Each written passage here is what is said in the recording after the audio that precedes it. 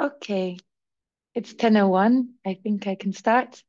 Uh, I'd like to welcome everyone. Hello, welcome to our second GraspOS webinar. Uh, just before we start, I'd like to mention a very unfortunate event which took place in Poland, uh, the recent fire. Uh, right, fortunately, no casualties were reported, but nearly 1,400 shops were burnt in the shopping center, causing power cuts in significant parts of the city. And now efforts are underway to restore all the affected areas, and uh, we wish to express our thoughts and support on behalf of the GraspOS team where, to all of those affected by this major event. Uh, before we begin today, I will just give you a few basic housekeeping rules. Uh, you can use the chat for question and answers. Please uh, kindly ask you to keep your microphone off when others are speaking. And uh, as you can see, the registration for the event has already started. So please turn your camera off if you do not wish to be seen in the registration. And I'll collect your questions in the chat and there'll be dedicated time for discussion after the presentations. Now I see people are still coming. I'd like to welcome today's speakers, Carol Delmazo and Fotis Mystakopoulos for Operas, and Ronald Snijder from the OAPEN Foundation. Today, our topic uh, will be about assessing open access books and shedding light on peer review with PRISM, the peer review information service for monographs. So in this webinar, uh, we'll talk about uh, what is peer review in relation to responsible research assessment. You will learn how PRISM works and how it helps increase transparency in peer review for open access books and we'll reflect on how PRISM could be useful in the context of responsible research assessment. Our agenda for today uh, will start with a presentation introducing the GraspOS project, responsible research assessment and peer review, which will be carried out by Fotis. Then we'll dive into the topic of Opera services in the framework of GraspOS with Carol. And finally, Ronald will present the peer review information service for monographs. I'll introduce the speakers before giving the, the floor to them. So I'll start with Fotis. Fotis Mystakopoulos is a project policy officer at Operas. So Operas is the research infrastructure for open scholarly communication in the social sciences and humanities in the European research area. Fotis has a background in library and information science, and his professional journey includes role in roles in academic libraries within the UK and involvement in EU-funded initiatives. In particular, he currently contributes to the strengthening of open science skills and practices through his work in the Skills for EOS project, which some of you may know here, uh, with a special emphasis on the social sciences and humanities. He also participates in initiatives promoting responsible research assessment, such as the GraspOS project. And finally, Fotis represents Operas in two core working groups, which focus on addressing multilingualism and language biases, as well as in improving the recognition and reward system for peer review. Uh, and our second speaker is Carol Delmazo. She also works at Operas as the Service Marketing and Community Outreach Officer. Her work focuses on the promotion and marketing of Operas services, as well as integrating communication, user outreach, and training strategies in a variety of European projects, including GraspOS. Before joining Operas, Carol worked for five years as the science communicator and manager for the ReSeed project, an SSH research project based at the University of Coimbra and funded by the European Research Council. In addition, Carol has 12 years of experience as a journalist for TV and websites and holds a master's degree in new media and web practices from Nova School of Social Sciences and Humanities. And our last speaker today is Ronald Snijder. He is CTO Head of Research at OAPEN. He joined the OAPEN Foundation in 2011, and he is responsible for the operational, technical, and data-related aspects of the OAPEN Library, the Directory of Open Access Books, and the Open Access Books Toolkit. Ronald has a background in library and information sciences and information technology, and he holds a PhD in social sciences. He's been active in the field of open access books since 2008, both at a practical level and as a researcher. Before that, Ronald worked in several profit and non-for-profit uh, organizations as an IT and information management specialist. And when working at Amsterdam University Press, Ronald was already part of the team working on the OAPEN project. Now, without further ado, I will hand over to Fotis, and I wish you all a very interesting webinar. Thank you. Thank you very much, um, uh, for this introduction. Um, so what I will uh, do, uh, as uh, explained, uh, first and foremost, I will provide an appetizer, if you like, about peer review, uh, GraspOS, and uh, how it can be thought of in the context of responsible research assessment. Uh, GraspOS at a glance. So uh, this is a project that aims to develop an open and trusted federated infrastructure, uh, which uh, the fundamental uh, concept behind it is to uh, enable and introduce open science principles into the responsible research assessment movement. Uh, this can be done in two ways. The infrastructure aspect is about data tools and services, but also we have the guidance perspective, which is implemented through the Open Science Assessment Framework. Now, these are deliverables that you can find in Zenodo if you like to find out more, but we, we can't go into detail for today. But uh, essentially, what uh, the OSAF is trying to do is translate uh, open science principles and into responsible assessment practices. Uh, and this is aimed at three different levels uh, in terms of research assessment and uh, target audiences, which is the individual or group researchers, um, research performing or research uh, funding organizations, and of course at, at the country level. Of course, there's a pilot. There are pilots that are aimed at thematic levels like SSH, social science and humanities, or computer science. And then this is another concept that, in many ways, essentially covers all three levels uh, from different perspectives.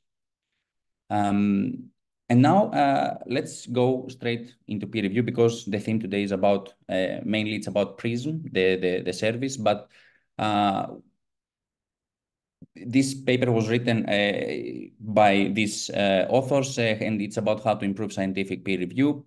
And they identified four uh, school of thoughts. I'm not going to read them all out, but the one we're interested in, let's say today, it's the democracy and transparency school, uh, which is about making evaluation of research more democratic and transparent. And this is the conversation that we would like to have today in a, in a certain way. Now, when it comes to uh, discussing uh, peer review in these uh, co concepts uh, about um, transparency uh, and openness, uh, we have, let's say, on the one hand, we have the double-blind peer review process, which was what was traditionally happening, or the single-blind. I know there are many types of peer review, but I'm just trying to, to let's say, demonstrate the, the two extremes in this case. And then we have the newer kind of um, uh, traditions now that uh, we're trying to develop uh, from an open science perspective, which is to have open identities, open peer reviews. Uh, and uh, there are arguments for both for both sides. There are disciplinary differences, let's say, sometimes when it comes to whether you should have blind peer review or open identities. For example, in SSH, it's common that you have um, smaller groups, smaller disciplines with you know few experts, let's say, that could be easily identified, uh, even if uh, if the peer review is blind, or uh, then it creates some maybe some uh, issues when it comes to having open identities. So there is conversation to be had in that respect. Um, we have the pre-publication uh, peer reviews uh, and the post-publication peer reviews as well. So pre-publication would probably result into a peer-reviewed publication in the end. This also happens in in the more traditional, let's say. Um, narratives that we had uh, with editors having uh, this kind of overview of uh, what could uh, go through to peer review uh, or not. And then we have the post-publication, which is uh, essentially a little bit more like um, preprints being published as quickly as possible.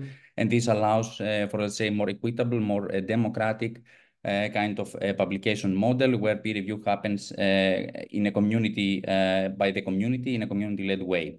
And then we have uh, in the third level, I think uh, this is about GraspOS as well. And as I said, we have the infrastructure on the one side, which is the data tools and services, but also we have the guidance. And what uh, is important here is to remember that it's about responsible research assessment. And the narrative around responsible research assessment is that we don't only use um, numbers. We don't only use quantitative measures uh, in order to do the research assessment, which in a way, uh, data tools and services will allow us to uh, bring this kind of numbers into the research assessment from the GraspOS perspective, but from an open science perspective, as we already discussed. Uh, but also we need the guidance. The guidance is important, and that's what OSAF is going to do uh, in the project uh, to ensure that we are doing things responsibly. And this is something very close to, to our hearts, let's say, in the SSH uh, domain. So um, what are the challenges? Some of the challenges, let's say, not all of them. Um, should we have open peer review or transparent peer review? There are degrees of openness when it comes to this discussion. Uh, how open should the peer review be in terms of uh, just the reports or the entire uh, identities of the reviewers? Uh, this is a discussion to be had. Um, uh, we also uh, work a lot with OSAF at least is being informed by the scope evaluation framework, which is about values, context, options for evaluating, probing, and evaluating the evaluation. This is what the letters stand for. And essentially, the probe uh, value, the probe step in this uh, scope evaluation framework is about understanding if any sort of evaluation process that is going to be introduced in an institution, be it a research performing organization or a research funding organization, uh, whether this kind of evaluation can be gamed, if there are any um, potential for misuse and any issues that would be uh, arise from this process. So um, always rewarding peer review should be thought very carefully how to how this should be done. And this brings us to the question: What would be uh, appropriate incentivization of peer review? Uh, so more people do peer review and peer review thoughtfully, and um, let's say avoid the kind of examples that we've seen recently in certain publications, where um, AI-assisted, uh, let's say, assisted. Um, peer reviews have been published. Uh, we we there is big discussion to be had as well on this, uh, why this, uh, why is this happening, uh, how we come to this point. but this is all I wanted to uh, remind everyone about the topic today uh, about peer review and responsible assessment. And now, before we go to Carol's uh, presentation, I would like to, to for us to just have like a warm up, a Menti, just to see to to get your thoughts on a, on a couple of questions about uh, peer review. So I will leave this on uh, on the screen uh, for a couple uh, for a few seconds, and I will also write in the chat the code for anyone who wishes to uh, Uh, join the Menti.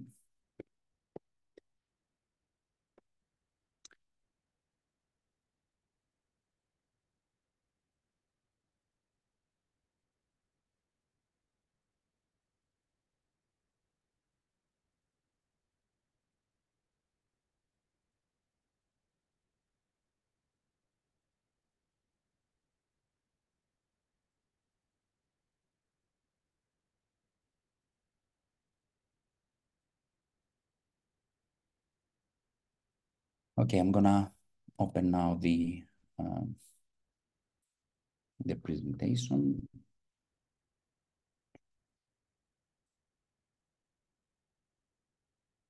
And, and, the first question is more like um, a warm up, just to uh, since we thought uh, with Carol since summer is coming, uh, um, what would people prefer? Uh, uh, what would you do uh, if you've given the option?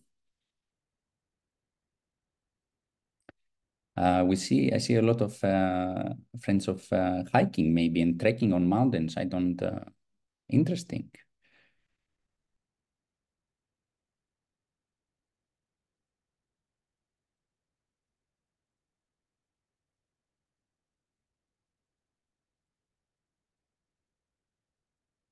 So few few uh, will stay at home, and uh, few don't know what's a, what's a holiday. Uh, let's discuss this on a different webinar uh, when given the the opportunity uh, for those who um, would like to find out what's a holiday. Um, thank you, but I think now we'll go to the next question, just in the interest of time. Um, okay, now to how do I? Yeah. Have you ever peer-reviewed a monograph book before? Now we use both titles because this is this uh, we understand that this could be like uh, any uh, you know people from different disciplines. So uh, so we would like uh, to just have a um, an idea of whether uh, many of you have peer-reviewed or not a book before, because this is what we're talking about today, specifically open access books for that. So most of you not. That's that's interesting. That's good to know.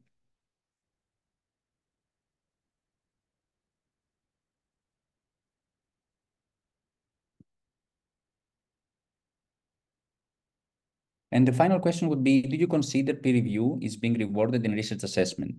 So uh, I think some people have already responded to that. That's uh, 2.8. That would be below average at this uh, um, stage. I, I hope that we will come back to this question after uh, the PRISM presentation, uh, given that we will have discussed PRISM as well if you have any questions.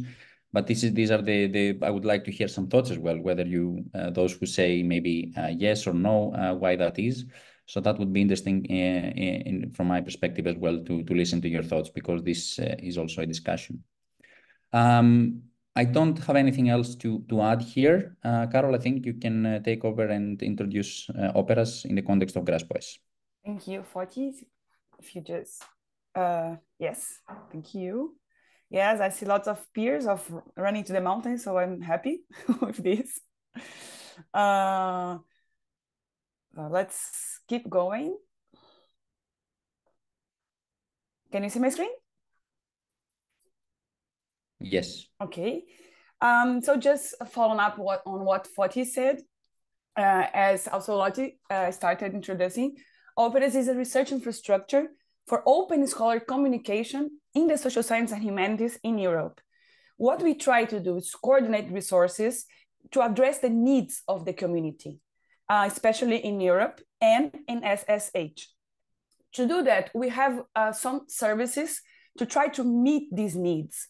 So when it comes to find the resources in a variety of languages, we have GoTriple, we can find articles, you can find data sets, you can find uh, projects, people. So GoTriple is a discovery platform for this. If the goal is to publish, then you have Pathfinder that can help you uh, finding specific editorial services for what you need. I will skip quality assurance services because it's a topic of today, and Ronald speak about this uh, very soon. Uh, we also have services to make it easier for so, uh, citizen science. That is a platform where you can meet people and collaborate for doing participatory research. We also have Hypotheses, which is a bridge, it's a place to foster dialogues through blogging, and also analytic services such as metrics uh, that can help us understand the usage and impact of open access books. When we come to GraspOS, which is our contest today, uh, Operas has two important roles. One, as a technical partner. So if you want to build this framework, which is open science aware, uh, we need data, service, and tools to make this possible. So we help with Opera services to help building this uh, framework where open science is a key point. On the other hand, in GraspOS, we have nine pilots, and three of these pilots are thematics. So Operas is leading the pilot on social science and humanities. And the key thing for us in this process of piloting within the GraspOS is to bring the community together. So for us to think of this new context, context of research assessment, we want to do this with the community. So trying to think of evaluation with the ones who are evaluated. And during this process, we have been inviting the community to reflect with us and think which are the ways and the paths we need to take to reform research assessment in this thematic area, which is very important uh, for us. From the side of the technical contribution, we are aiming at uh, using three of our services in the context of GraspOS. Um, Prism, is, as I said, is the key one for today, but we also have metrics because metrics can help us uh, see the usage and the impact of open access books. So if we want, uh, especially in the context of social sciences and humanities, to value different outputs, such as open access books, so metrics can help us understand how the books uh, have been uh, used, where they have been uh, seen, so we can see the metrics towards the open access books and their usage and impact. On the other hand, if one of our goals, again, thinking of this new context of research assessment, is to value not only these three or four main journals in English, if you want to value different publications, different outputs in different languages, so we definitely think that GoTriple's data set can help us to value this, to show this variety of outputs we can value and we should value in social science and humanities in not only in English. So multilingualism is one important concept we want to bring to the new to the new context of research assessment reform. And as I said, the topic today is PRISM. So now I give the floor to Ronald and let's learn about this specific service today this morning. Thank you. No, thank you, Carol. Now I'm going to do the scary thing and try to share my screen while talking, which is always a bit uh, interesting. See if it works. And apparently it seems to be working. That's always good. So thank you um, again. Uh, I'm going to talk a little bit about um, open access books and peer review and how we uh, make them the peer review process visible in the directory of open access books. Um, you heard my name already. I'm Ronald Snijder. I work for the OAPEN Foundation. And um, what I'm going to talk about is a little bit uh, more about the directory of open access books, what it is. And I'm going to introduce PRISM. And then I'm going to do a little, uh, uh, going to think a little bit about what PRISM um, can mean for research assessment and well, basically um, draw a conclusion based on that. So let's start about with the directory of open access books and um, the PRISM tool. Um, the directory of open access books is a service that we provide by the uh, as from the OAPEN Foundation, and it gives access to peer-reviewed uh, open access books. And um, obviously, books are uh, very much uh, the, the preferred publication type in the humanities and social sciences, but actually, I would say about 25% of the books are in DOAB uh, that have been listed in DOAB are actually on STEM subjects. So while the um, uh, the focus here is basically on the SSH. On the, there is actually quite a lot of STEM titles in DOAB as well. Anyway, um, the DOAB was launched in 2013, so it's already a decade old. Um, as you can see, the picture is, I should update the picture where it says 74,000 titles because basically now we have listed over 84,000 um, titles the titles are not hosted on the DOAB platform, but basically they are linked. Uh, it just contains links to to books on other platforms, be it uh, on the uh, Library or Muse or JSTOR, but also on uh, many uh, publisher platforms. Um, and yeah, there are quite a lot of publishers um, listed in DOAB. As you can see, there's over 700 now. And yes, we have quite a lot of languages in DOAB as well, not just English, but um, actually, if you look very, very carefully, you might even find the title in Klingon.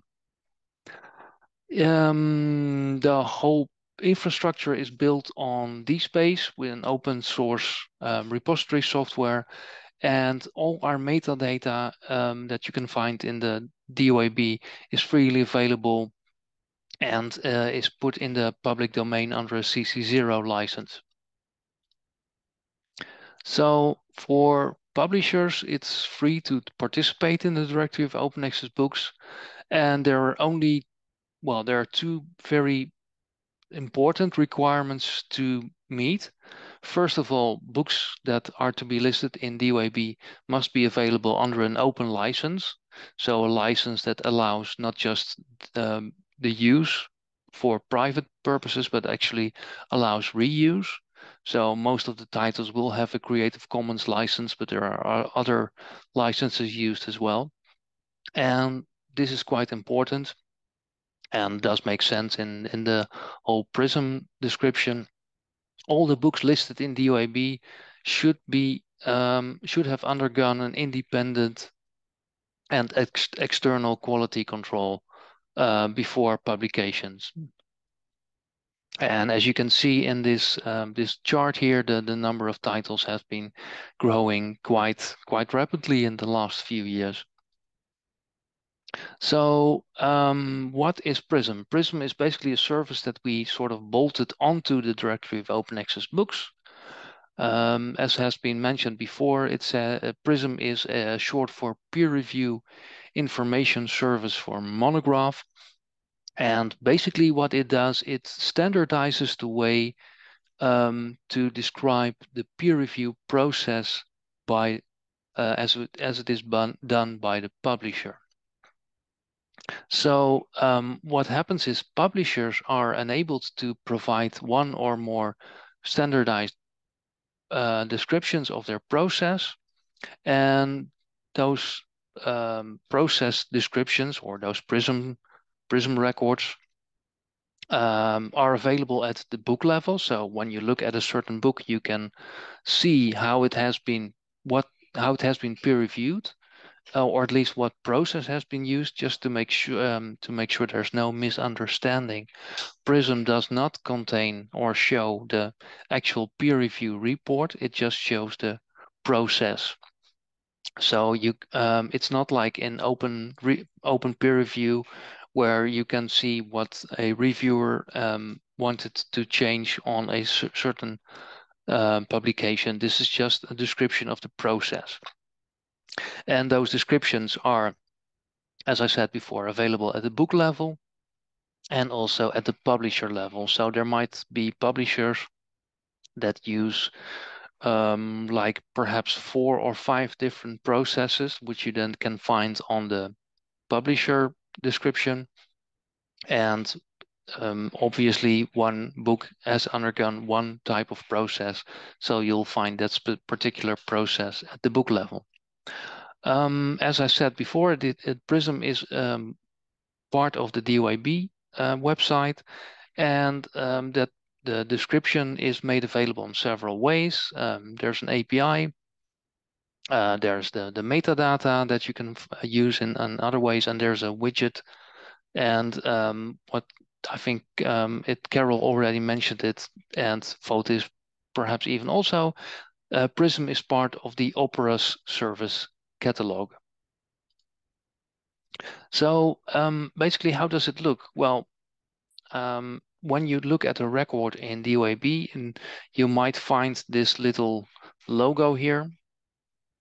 And when you click on it, you can you can get some information. But also, when you look at the metadata of the book, you will see a description of the peer review.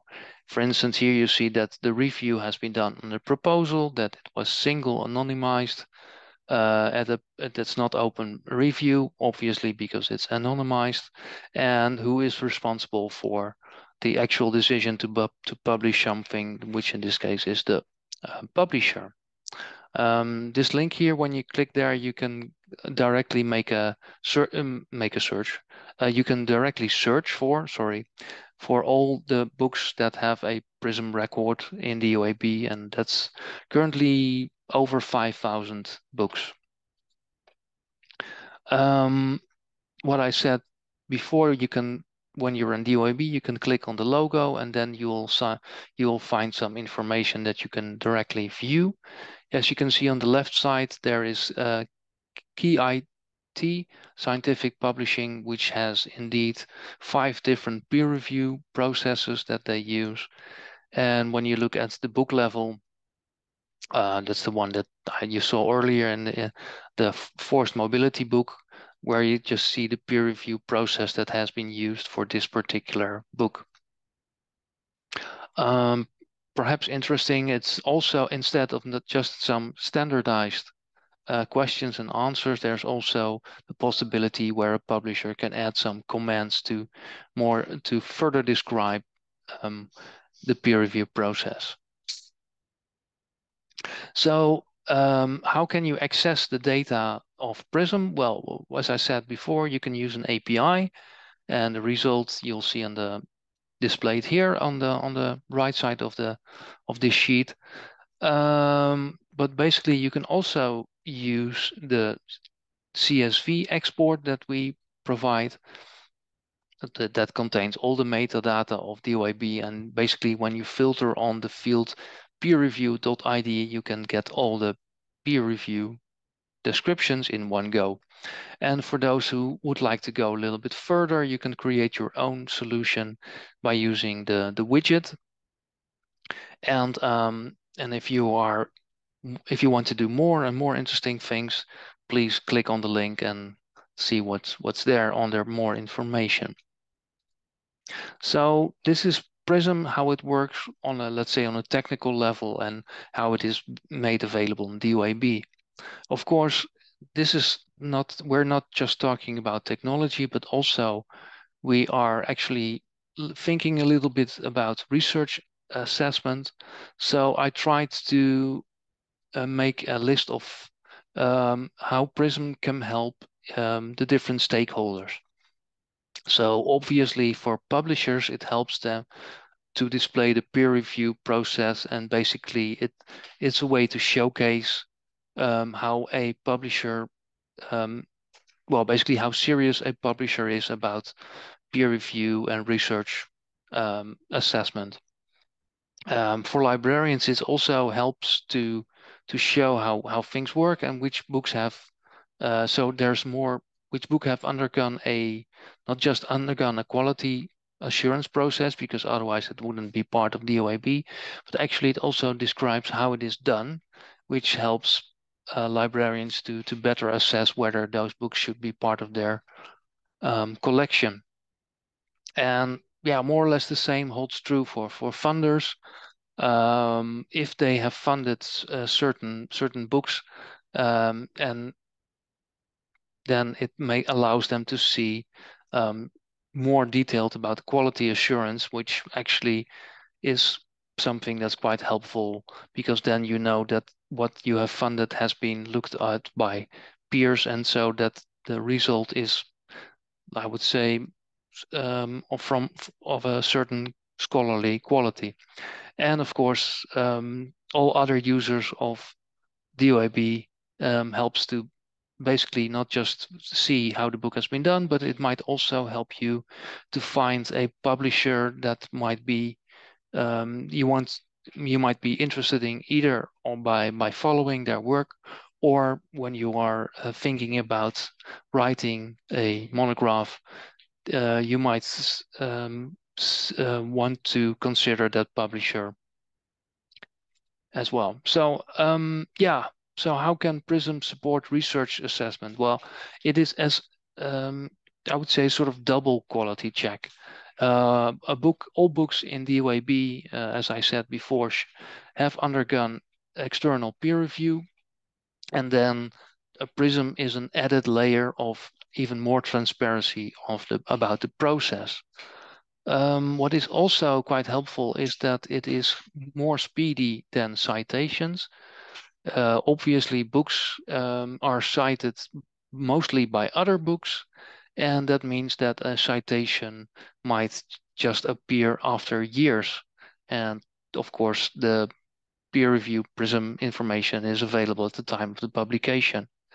And, and of course, OAPEN, uh, sorry, and DOAB are freely, DOAB, I should shouldn't have mentioned OAPEN. DOAB is free for every publisher, large and small, which helps um, the bibliodiversity because it doesn't add a, a big hurdle for, for small um, publishers. And as you also have seen, um, there are many publishers in DOAB and many languages. So um, it, it, it is not only focused on large commercially commercial open access publishers that only publish in English. And what I tried to show before, it's easy to integrate the information into other systems um, due to the metadata and the API in the widget. So in conclusion, um, PRISM is a standardized way to describe and to disseminate peer review processes for uh, open access books. And um, it's a focus, an extra focus on quality, given that we're now in the age of AI generated content, that would be very helpful. So thank you.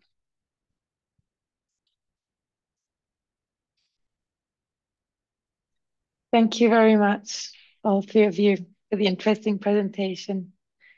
Uh, I wanted to ask if anyone had questions in the chat. Let me open so I'll start uh, bringing the question. The first question uh, from Samira Knight Aju. Uh, good morning, thank you. Shall we get this presentation? If I may answer, we will make the presentation available on Zenodo and we'll make the registration available on YouTube and we will post about it online. So make sure to stay tuned. Then the next question from Roy Vickers. So are we arguing that this peer review process should have the equivalence of a citation? Um, no, I don't think so. It's it's not equivalent. I think there are several aspects. Um, a peer, um, of course, you can say a peer review description um, helps to understand the quality control process. Um, so that says something about how the book has come to to be and um, how well a publisher and the author have tried to make sure that all the information they put into this book has been validated. A citation is actually a it's it's a different thing. Basically, you, a citation is just a flagging that a researcher has um, seen that particular publication, and um, that might not be a, a quality assurance. You can probably you can have a citation like, look, this is the, the worst book on this subject you will ever read. Here you can find it. I don't think that would be a very good quality assessment. And I don't think that would be the same as um, a PRISM record where you can see how the how well the publisher has tried to make sure that the information is valid. Uh, can I can I uh, just add my thoughts on this as well uh, from from the GraspOS perspective and uh, the discussions we've been having on um, uh, in terms of responsible assessment, GraspOS as well. So um, the idea of open science and responsible assessment and research assessment reform is to uh, not focus on citations, not focus on, on one way of, of looking at, at, the, um, at the sources or, or how to define quality or how to define excellence. I think this is about creating a more uh, inclusive and, uh, uh let's say, uh, step-by-step -step process whereby research assessment is done differently than just looking at citations or just because we talked about that peer review can have its own quality issues. Uh, it, it, we're just trying to identify steps along the process which will allow us to move closer to that responsible kind of uh, perspective. Uh, it doesn't end with just using Prism and say, okay, it's there, it's uh, all done and dusted, because we talked about open reports. So um, open the, the reports of the peer review. So it's a complicated, it's a complex, let's say, process. And that's why we need uh, the open science assessment framework as well that we are producing as part of GraspOS because we need to think about the process of the evaluation. So, and one of the exercises that we have uh, that we will that we will have is to think about where Prism, let's say, or uh, tools like Prism fit into this process, because we need to have a framework where we identify peer review first and foremost as an exercise to be considered in research assessment. So people who do peer review are recognized for it.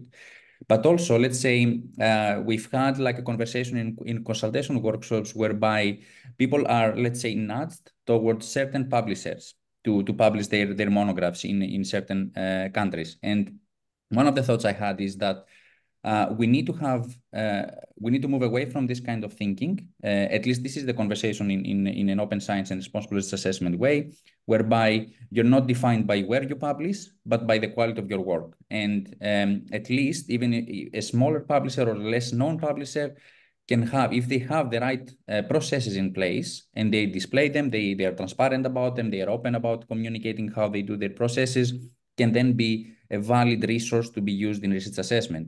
So this is, I think, uh, the, the, the bigger picture, let's say, that Prism, we are trying to introduce Prism. And as uh, already mentioned by Carol and uh, Ronald, uh, we're looking at Prism both as a service and as a data set. Because let's say if you're using the dataset to uh, assess whether a book is part of this uh, directory of open access books, and at the same time they, they have a transparent way of looking at um, their peer review process, then let's say you are enhancing your argument that you know this is uh, this is the steps we've been through to publish our book. So um, to be considered even further more in, in research assessment. That's all i wanted to to add from my perspective. Any other uh, thoughts comments so i'll read it uh, from the chat for you for this the next question from maria machado is there a way that prism could be applied to preprints uh, that's an interesting question. Um, technically, yes. Uh, Before, because sorry, Prism, sorry, can I, can I, sorry, sorry, Noel, Yeah. can I interrupt? Because Maxim raised his hand and I think he wanted to, um, oh, sorry. Maxim Kupreyev, sorry. Uh, I just saw his hand raised earlier. He, I think he wanted to share his thoughts a little bit on what uh, I was, we were talking about. Maxim? Uh, I mean, um, without camera or with camera? Without. It's, it's okay. I don't know. So I can I can turn on my camera for a second. I don't know. No, um, sorry. Yeah, the, the question came in also in the chat. I was wondering also. I, I had two questions for Ronald actually. So the uh, the major problem in the research assessment is now that the input of the reviewer is not recognized when you apply for the position. So you apply for the professorship, you have a list of articles, but basically no one cares um, how many reviews you've done. And this, but this takes a lot of time. And actually, I'm one of the two people who responded that they do regularly peer review process for, for the books. It takes a lot of time, but it's not recognized. So I was wondering whether Prism um, kind of may include um, information on how the publisher rewards the peer reviewer. You know, um, the way that the way that person who goes and sees the book and says the like the publishing info and the publisher, because basically most often what you what you get you get a book. Um, so you get a book which costs maybe like academic books are expensive. You get like 100, 100, 100 euros book, but then you spend like three months on conducting the peer review. Uh, peer review. So basically, 100 euros is what is being paid for the job of three months. And then also you're not allowed to list it in your CV because it's it's blind, you know. It's not, it should be it should be official. And then and it's not evaluated by the commission if you apply for a position. So I was wondering whether you whether you kind of have the the uh, support or the information like in a way would Prism not only enhance the transparency for the publisher and for the book, but also somehow um, show that it evaluates, it's, it kind of respects the work of the peer reviewer. I mean, kind of information, you know, that, that was my, sorry, it was quite long, so I'll, yeah, I'll stop. So basically, if I understand your question correctly, you say um, the reward for peer reviewers have are they listed in in DOAB or not? And at this point, I must say the answer is no, basically because Prism has been um, the the task how now the, the the way Prism has been set up. That's probably a better way to describe it. The the way Prism has been set up at this point is to basically only describe the process of peer review itself, uh, not how a publisher supports a peer reviewer. I think that's actually quite an interesting thing to add, but um, for now we we we tried to keep it um, let's say uh, to a certain basic standard to make sure that uh, publishers are able to to answer the questions that we have now. Um, and um, yeah, of course, we this is one thing that we could take into consideration. But given the um, let's say the the current status of Prism, I'd like to um, put it. Um, well, I, I I cannot guarantee that we are going to do that in a short in short notice. Thank you, Ronald. Uh, I'll move on to the third question. What do DOAB administrators check when a publisher applies for PRISM? Um, once a publisher has been accepted to be a DOAB partner, they can create PRISM records. So there's no additional check. Once once you are um, once you are a, a publishing partner uh, with DOAB, you can create PRISM records. There is a sort of technical check when you create a record that we look if there's no, let's say, things that are um, described in a way that might might confuse people, but that's only a technical check. Thank you. Uh, next question from Nikki Clarkson. If a monograph has open peer review, are the reviewers named in the PRISM record? I'm wondering if it can be used to benefit peer reviewers by surfacing this information. Um, well, uh, at this point, I don't think that happens. What we do, what we did do with with Prism is that we try to make it into a, uh, basically it's a list of questions. So that means that it's all uh, very much standardized. Uh, but um, again, technically it's possible because basically um, for uh, a publisher can add some information in free text. So it, it should be possible to add the name of the reviewers, but um, it will require a little work on, on, let's say, both our side and the side of the publisher. Thank you. Uh, next question from Oliver Chen. Apologies if I missed this in the presentation, but would it be possible to incorporate Prism into an institutional repository, or is it only available via DOAB? Thanks. Uh, well, that's a good question. Well, currently it is uh, something that is technically part of DOAB. So the Prism does not live on its own, so you cannot um, add the Prism system as it is now directly to another repository.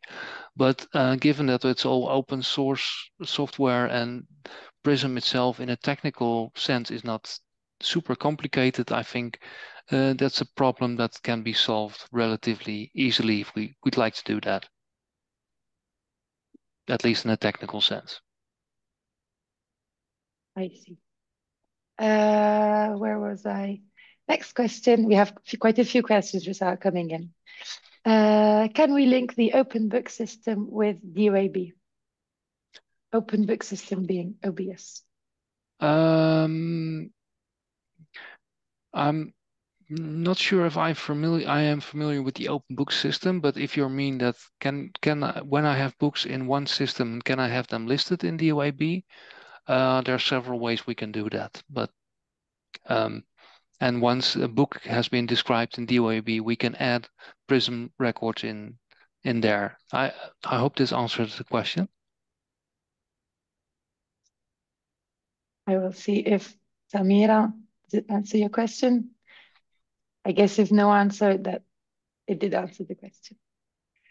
Uh, I was told I skipped a question in the chat. Did I miss Maria Machado's question? Is there a way that Prism could be applied to preprints? Is the one we were. Sorry, oh, I forgot right. to bring yeah. it back to you. Sorry. Um. Yeah. Well, um, actually, uh, one of the questions of of DOA uh, in in Prism is um, on what what stage the the peer review has been done. So um, from that point of view, we, the answer should be yes. Um, but again, what I said before, currently Prism lives as a, a tool within DOAB, and in DOAB we don't have um, preprints listed yet. So that makes it a bit complicated. Apologies, Maria, for skipping your question before. Um, let me, so we have a comment. Uh, let me know if I miss questions. I'm trying to follow in the chat. Uh, next is a comment from Kavebar Sargan. I agree that peer reviewers should get credit for their work based on contribution. They would be then keener to contribute. Same in journals. So it's more of a comment. And Roy Vickers, another comment. I think there is a lot of benefit in an open review process overall. Um, uh, yeah, I can. Well, yes, um, I I do understand. Basically, what we try to do with DOAB is not to pick any side or say any uh, quality assurance process is better than the other. Um, the, the main goal of DOAB is to describe the quality process and um, we are a bit like Switzerland. We don't. We try to stay neutral and not picking sides.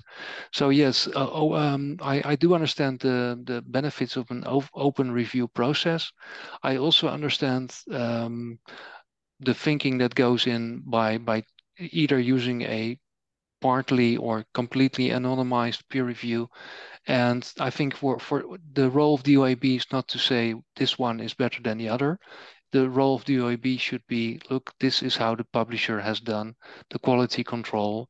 And uh, based on that, we um, you can draw your own preferences or conclusions. Thank you, Ronald. Uh, and I think there's a last question. How many publishers make use of Prism? Does it mean oh. more effort for them? Oh dear, I should have checked that because basically I can't, don't know the number by heart. Uh, sorry, I need to get back on that. Uh, does it uh, mean a bit more effort? Yes, in um, it, it, it the, the amount of effort basically uh, oh thank my, my my colleague Laura will will, will check those numbers um, does it uh, more effort it, it depends if a publisher has like uh, for instance like uh, KIT, um, Karlsruhe Institute for Technology, they have like five different peer review processes. So it takes a little bit more effort for them to tell us this book has this particular um, peer review description, needs this particular peer review description. If there's one publisher that is there a publisher that says, well, we use, we use one description for all our books, then it is relatively straightforward because then basically we can just apply those those this information. Oh, and um, to answer your um, thanks thanks to my colleague uh, Laura, there are currently 18 publishers in uh, participating in Prism. And yeah, what I said before, there are over 5,000 books described. Thank you, Ronald. And Laura for the getting the numbers. Uh, first, did I miss any questions? Because uh, there are quite a few comments in the chat. Please raise I, your I, hand if I missed I someone. Yeah. Yes, I just want to uh, come back to the question on OBS open book system because it's a quite in interesting one. So uh, as far as I understand, open book system is a workflow management system uh, used by uh, uh, some academic publishers, particularly in the US, uh, if I understand well, for example, MIT Press. So there is a question about the potential integration, which in my opinion doesn't exist yet between DOAB, uh, Prism, and this system. Uh, and the comment uh, from Samira says, I'm a librarian and I'm thinking of putting researchers' work on OBS. I'm wondering if it's a double job to put work on both the OBS and DOAB platforms. So that's a question for you, Ronald, I guess. Um, yeah, well, um, I'm I'm afraid the answer might be yes um, for instance, MIT, if uh, MIT Press or the MIT Press, I should say, um, actually provides us with metadata um, to add to DOAB. Um, because the role of DOAB is basically a, a directory showing where a certain book can be can be found, and I think that um, sorry that um, tools like OBS are serve a dif different purpose. They are more there to help the creation of the of the book, or let's say the to support the publication process. So yes, there there um, if you I think there will be a little bit of double work.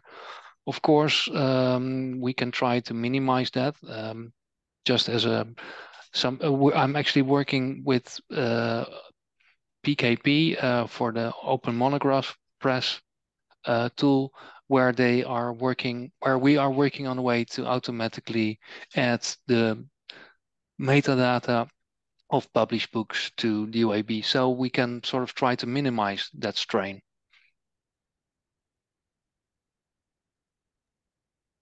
Thank you both.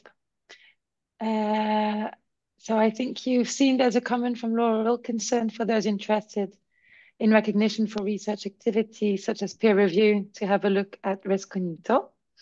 And uh, I am skipping down to another question uh, since I see our time is nearly up. From Nikki Clarkson, it is great to see that the 18 publishers engaging with PRISM, but that leaves a much larger number in DOAB that are not engaging. Are there plans to encourage other publishers to take part? Um, well, we have um, on a let's say especially when DOA uh, when DOAB sorry when Prism was launched, we we certainly made sure that that um, um, we that people should know about it. Um, but I think it might also be that publishers um, need some time to think about this question whether or not to to go for it and um, what it will mean. Um, so, but there there will be some. I think um, actually um, not so long ago, Taylor and Francis, which is quite a large publisher, also publicly made uh, stated that they will that they have been joining uh, Prism, and that's why we have um, quite a lot of records from them, and um, that might probably not have gone unnoticed by their direct, I would say, competitors.